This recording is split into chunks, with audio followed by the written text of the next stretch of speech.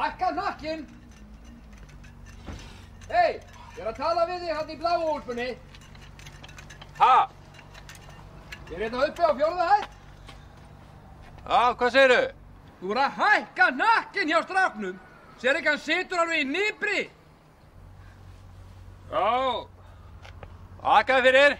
Á ekki hjóla á grassinu. Ok.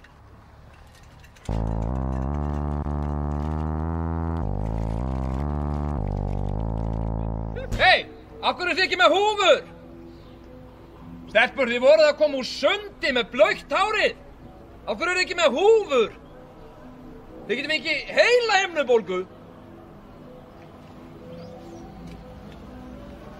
Já, vera með húfur!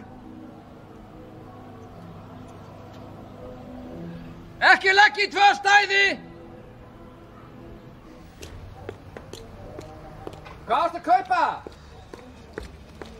Að kona með byggt og búið bókan! Ha? Hvað ást að kaupa í byggt og búið?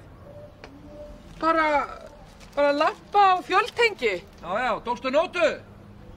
Nei, Nei, einmitt.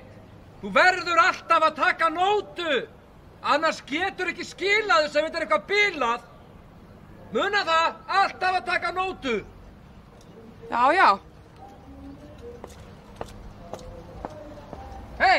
Þetta er allt of dagt bindi fyrir þessi föt.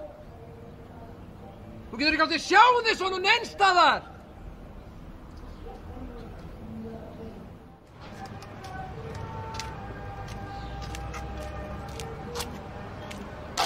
Hei! Þú þarna á fjórðu hæð. Ertu þarna? Já, hvað? Já, ég frétt af þér. Ert þú að gefa fólki svona ábendingar? Jú, og hvað? Ég haf svolítið erfitt með svepp. Ertu með eitthvað ráðlíkingar handa mér? Hefur þú prófað að flóaða mjólk? Nei, virka það eitthvað?